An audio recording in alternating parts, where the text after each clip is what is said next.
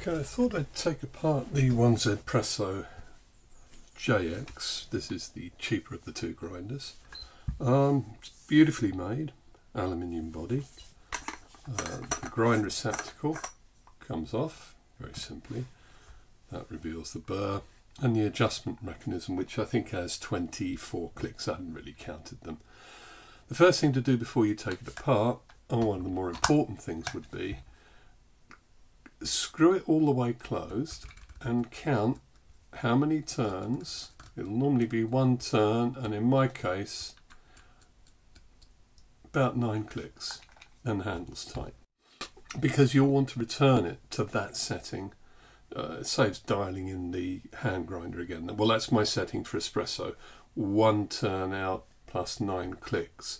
Anyway, the burr is locked up, so I found the closed position. Now I can just unscrew this and all you do, you unscrew this fitting here from the bottom and when it comes out, this is the adjuster. There we go. That's the turny bit. This is the cap on the burr. No, I don't have much. There's the burr, and this little cap is the grind scale and the location pins on the burr. We'll put that there. We'll put the burr there. Now the Chinese are clever and they thought this one through. This is not a normal unscrew thread but a reverse thread. You actually have to turn it um, so if you turn it that way, the opposite way to what you think. Uh, obviously that way the grinding action can't loosen this thread. That's very clever. That one comes off, go in the opposite direction.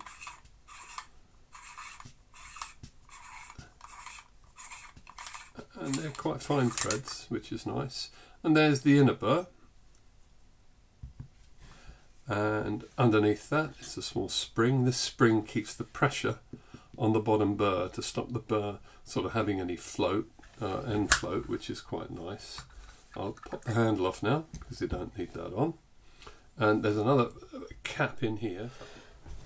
Right so I finally got this piece off. It's quite close fitting and unless you've got you know fingers that are small it can be fairly tricky um, to reach for me anyway. This is the grinder disassembled. Um, obviously for cleaning you would disassemble it. You would brush off the burrs. You would brush off all the coffee out of all the bits. Um, I've done that because I didn't make, want to make a mess on the mat. Um, of course, the one thing I immediately noticed when cleaning was that this burr um, and, and this burr here, uh, especially around in here, can develop like a, a hardened ring of coffee. That's where the coffee comes out. So I, I actually get a toothbrush and I give it a good go around here and I find a dry toothbrush will actually get off any deposits that are quite stubborn that their soft brush won't actually get off. Yeah now if ever you find you need to do a deeper clean one of the ways might be to use a bit of isopropyl alcohol on a toothbrush and very quickly give it a good go over you shouldn't need to but if you ever feel that yeah, you really want to get those coffees off. A little bit of isopropyl alcohol. Um, get the burrs a real good go. And then afterwards, after you put it back together, make sure you just grind a shot straight away. You can throw it away or drink it. Just to coat the burrs, because if, if you use the alcohol, although they're stainless steel, should be alright. But if you use the alcohol, I always think it's nice to actually recoat the burrs with something. And again here you can give them a good brush with a stiff toothbrush because I often feel this makes a better job of cleaning. So it, it, it's a very nice and very easy grinder to take apart. It's uh, really well made. I mean the bearings fabulous. You've got a bearing right at the top. You've got a bearing right, uh, sorry, at the bottom there, quite close to the burr where, where the burr comes up. I mean I haven't put the cap on but the burr actually come come up quite close to the bearing once it's on. You've got a bearing right near the handle, and they're good quality bearings. You can see the good bearings. No play in the shaft at all. Really nice. I mean, the uh, Taiwanese have done a great job with this grinder.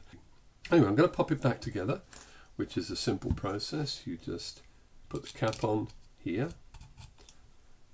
You put the spring on there and push them down. That beds onto the bearing. Then you would uh, you could screw this on. And obviously uh, to screw it on I'm screwing it the opposite direction that you would normally screw a thread. And get on nice and tight. Then we take the burr and I found the best way to fit the burr is to actually place that bit with the pins on this got your grind scale first and then drop the burr on the shaft so you can align the square there otherwise it just becomes a little awkward then we have this last bit at the top now this is your grind scale mechanism. Just push the burr down into the grinder against the spring and then screw this on a bit. Be gentle because you don't want to gall up the threads. Um, by pushing it down it makes it really easy to screw in. It's quite a fine thread. Then you can pop the handle back on. Screw it tight. Now the body's aluminium, all the shaft and uh, obviously bearings are steel. But you screw it up all the way till the handle doesn't move. There we go, a couple of clicks. You don't have to be super, super tight with it. And then to get it back to espresso for this grinder, it's uh, one turn and then one, two, three, four, five, six, seven, eight, nine clicks. And I will be pretty much back in the espresso range. And that's it. The grinder's nice and clean. Back together. Make sure everything all moves freely, which it does. And then put the base on. But yeah, this, um, well, you know, as, uh, uh, from an engineering point of view, it's been thought about. It's been really, really nicely made. Um, yeah, it's just a beautiful thing to hold. Uh, actually, very, very tactile to use. I, I don't normally hate the expression "feels good in the hand," but for the this 1Zpresso JX, yeah, it does feels feels good in the hand. Um,